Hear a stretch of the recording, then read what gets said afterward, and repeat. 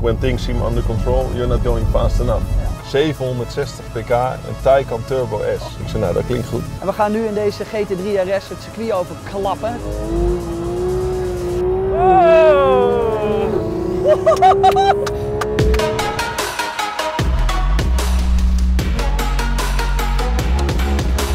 Welkom en tof dat je weer kijkt naar Day One. Ja, het is een, ja, ik wou zeggen een verrassing, maar dat is het niet. We zijn op het circuit van Zandvoort, want we hebben vandaag een hele speciale gast. Ex-Formule 1 coureur. Zijn naam is Robert Doornbos. Jullie kennen hem waarschijnlijk allemaal wel. Mocht je hier nou voor het eerst zijn op Day One, kijk dan even rond. We hebben nog veel meer automotive content. En mocht je nog niet geabonneerd zijn, doe dat dan ook even. Het is gratis. Genoeg gepraat. We gaan vandaag hier op het circuit knallen met Robert Doornbos. En je wil niet weten hoeveel zin ik daarin heb. Let's go.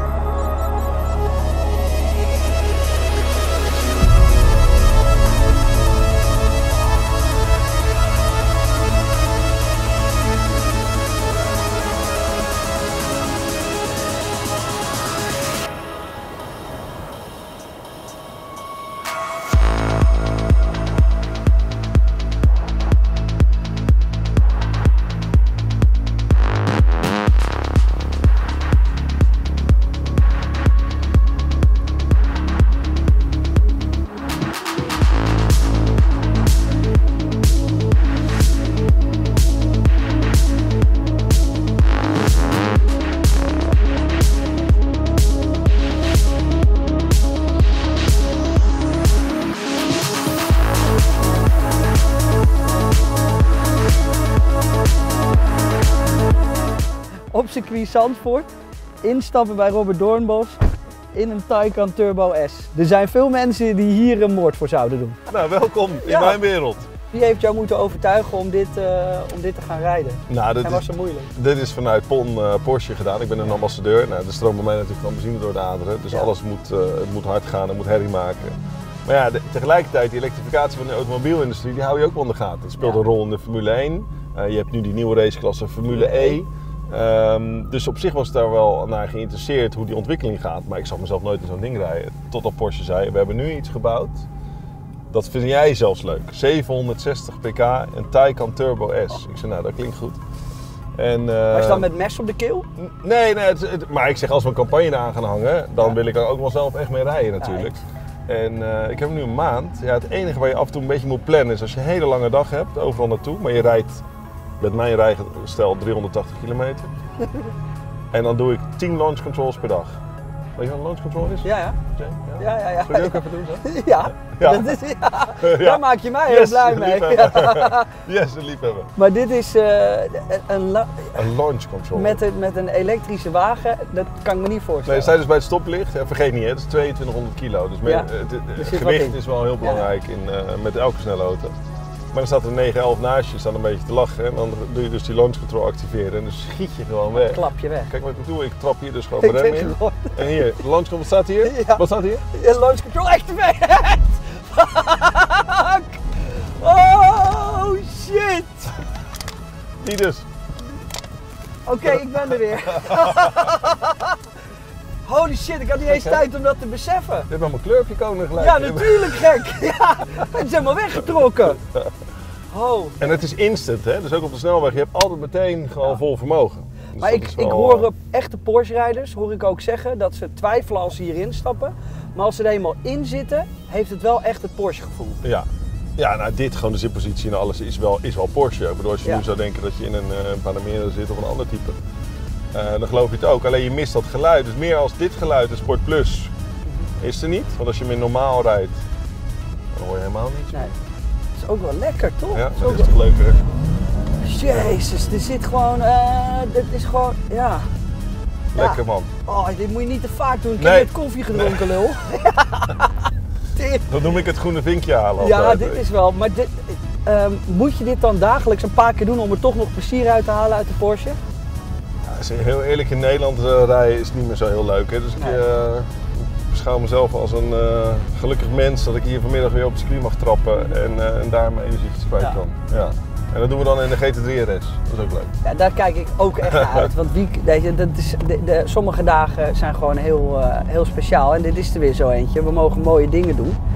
Hey, voor de mensen die, die, die Robert Doornbos kennen, maar er niet, nog niet genoeg over weten wat je allemaal hebt gedaan. Je bent Formule 1 coureur geweest, we zien je natuurlijk veel op televisie. Eh, waar ligt jouw passie nog meer? Nou, bij mijn gezin eigenlijk. Ja. Eh, dat, dat, dat, is, dat is een cliché, maar bij ons is dat natuurlijk best wel eh, heftige realiteit geworden. Hoe Mhm. kwetsbaar je daar bent op dat Ja. vlak. Ehm, gelukkig is iedereen nu weer gezond. En met name mijn dochtertje, daar ging het natuurlijk om. Dus ja, dat koester je enorm. En ik heb nog een heerlijk zoontje van Josh, van twee. Die zit af en toe daar recht achterin. En dan zeg ik papa launch control. En dan zegt hij alleen maar ja. En dan zie je die wangetjes gewoon achter zijn oren schieten, weet je wel. Ehm, dus quality of life, gezin en, eh, en door de week ja, druk ondernemer. Eh, Ja. Ik vind het leuk om, eh, om, om, om echt bezig te zijn. En ehm, ik gebruik wel eens een quote ook in mijn lezingen dat ik zeg: When things seem under control, you're not going fast enough. Ja. En dat is van Mario Andretti in Amerika, maar dat is echt zo. Dat triggert mij elke keer om. Ik probeer het laatst uit te leggen aan oma Gent. Ik kon er minder om lachen. Maar eh, je begrijpt wat ik bedoel. Ja.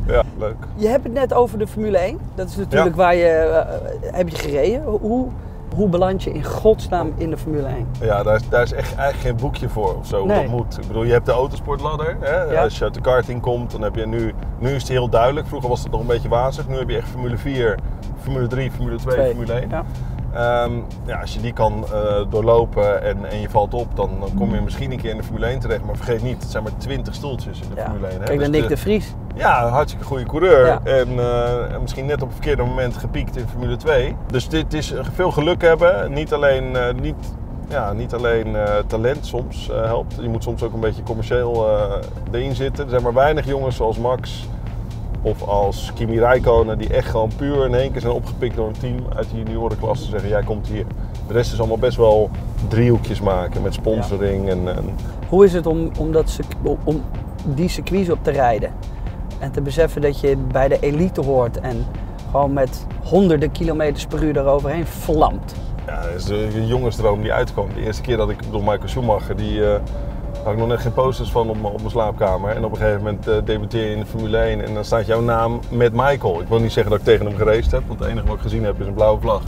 en af en toe een rode Ferrari die voorbij kwam. Eh, dus- Hoe goed was hij? Even, ja, want jij hebt eh, het- all-time great. Ja. Gewoon. En, en eh, Hamilton die krijgt misschien iets te weinig credits de laatste tijd. Want als hij ook allemaal die records gaat evenaren of verbreken, dan, eh, Ja. dan verdient hij net zoveel die credits. Weet je? Ik bedoel, eh, dat, dat hoort bij topsport. De timing. Ja, hij heeft de beste auto, maar je moet het nog steeds doen.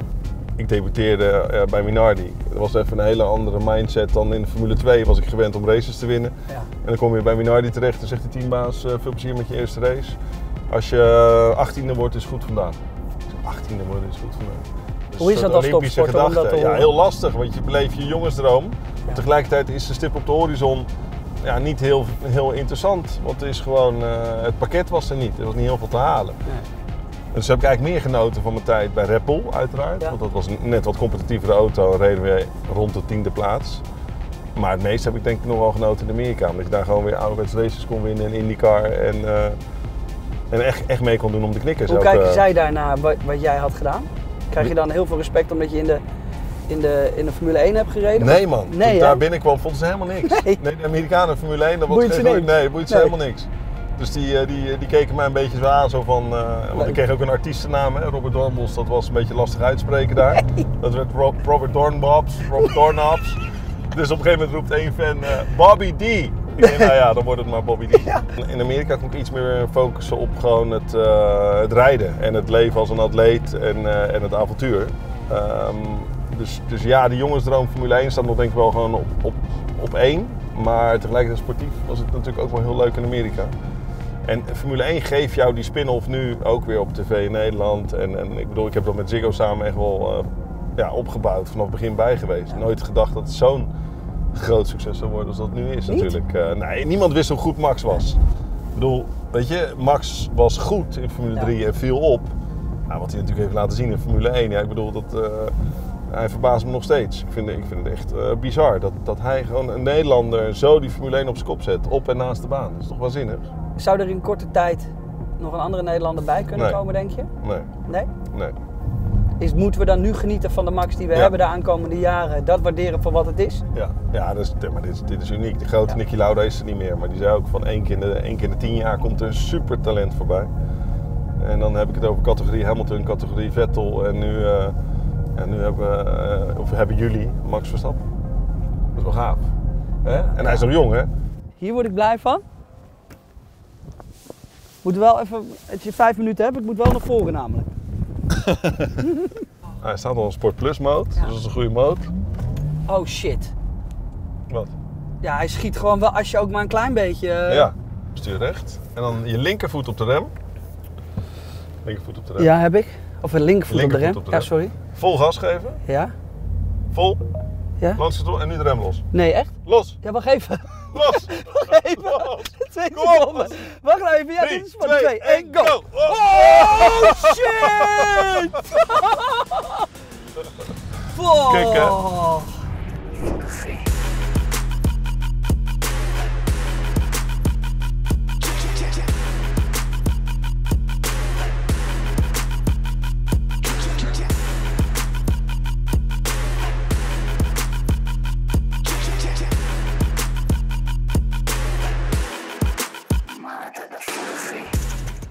Net natuurlijk elektrisch gereden, maar nu gaan we voor het eh, echte werk. En we gaan nu in deze GT3 RS het circuit overklappen, terwijl Robert rijdt, ik natuurlijk niet. Laten we eerlijk zijn, want dat gaat waarschijnlijk verschrikkelijk fout.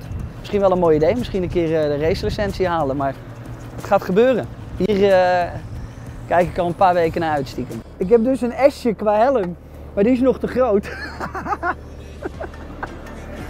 Oké, deur gaat dicht.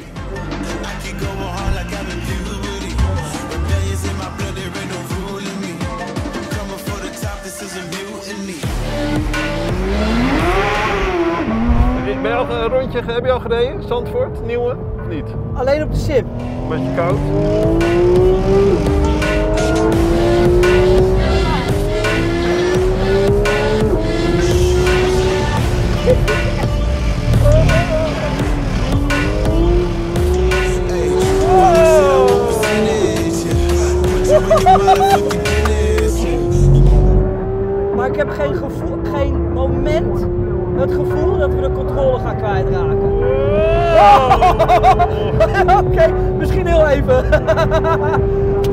dit is zo mooi, jongens.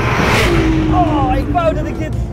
Ik wou dat je nu YouTube en film kon voelen, want dit, jongen, dit gaat door je, dit gaat door je ruggengraat heen. Wat knap hoe je nog commentaar geeft hoor. Ja, maar ik, ben, ik ben aan het genieten, man. Maar ik probeer uit te leggen wat, wat ik voel, want het is zo... Ja, het is prachtig. Is- hier zo de tuinen. ja, en zoveel rust ook stiekem, maar zoveel chaos ook tegelijk. Oh, jongens, als je die voelt, alsof je een stomp in je maag krijgt. Je voelt hem zo, die G-krachten, die, die voel je aankomen. Dan klap je hem hier er doorheen en dan lijkt het niet te eindigen.